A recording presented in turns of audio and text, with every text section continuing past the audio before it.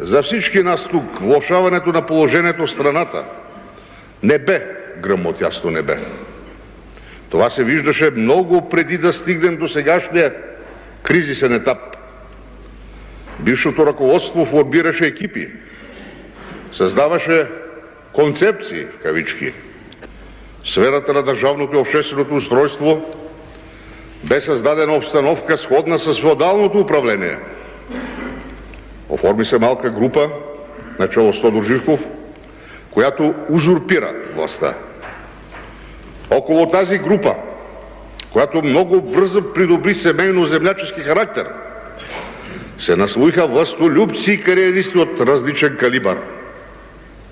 Те получаваха от върховния ръководител ключови постови облаги, които им позволяваха от негово име и от името на партията и държавата да вършат произвол, да манипулират основни обществени институции. Това бе дълбоко обидно за нашия народ.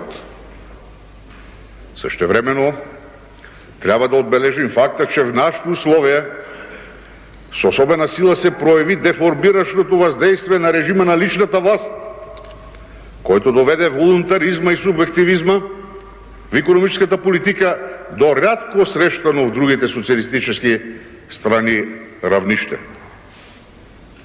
За дълъг период от време, от време и особено през последните години решенията по всички основни въпроси в економиката се вземаха от Тодор Живков.